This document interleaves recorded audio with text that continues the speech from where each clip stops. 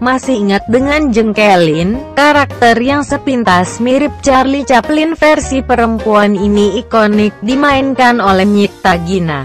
Belakangan Jengkelin yang menjengkelkan ini sudah tak pernah tampil lagi di televisi.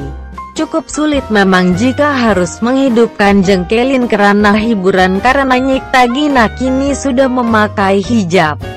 Namun saat ditanya apakah kangen memainkan peran Jengkelin istri dari Rizky Kinos ini menjawab kangen banget. Kalau dibilang kangen sih kangen banget. Apalagi masih banyak banget yang nawarin untuk jadi Jengkelin segala macam.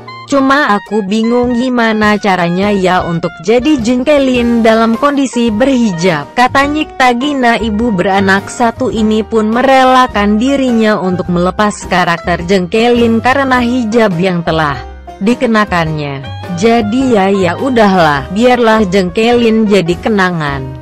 Cuma kalau kelakuannya tetap aja sih enggak berubah tetap aja kayak gini tetap cempreng tetap heboh segala macam Kata Gina Nyikta Gina sendiri angkat tangan ketika ditanya bagaimana jika ia memerankan karakter jengkelin dalam hijab Baginya hal tersebut sangat sulit karena Jengkelin sudah sangat ikonik dengan penampilan yang seperti itu. Demikianlah info Sobis kali ini dan terima kasih.